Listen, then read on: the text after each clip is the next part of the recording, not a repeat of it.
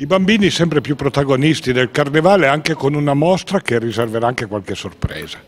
Certo, eh, quest'anno proprio si è deciso in ottica di continuare sempre questo discorso con i bambini, di dedicare proprio a loro una mostra, sia storica, che dedichiamo quindi alla figura della Ba, presente da tempo nel carnevale, da tempo immemore, sicuramente una delle figure base e chiave del nostro carnevale, sino ad arrivare all'esposizione nei giorni della mostra di tutto il lavoro fatto nell'anno scolastico passato con delle scuole elementari di Ivrea circondario. Questo perché ci ha reso possibile attraverso queste cinque unità didattiche che sono state dedicate ai personaggi, alla musica del carnevale, ai luoghi e ai simboli, ci ha consentito di trarre un, um, un risultato importante, quello a, nel quale eh, vedere eh, il, che cosa i bambini vedono nel carnevale, che questo è un una cosa molto importante e per, e per tutti noi un, ehm, una cartina di tornasole importante perché indirizza anzitutto la nostra azione nei loro confronti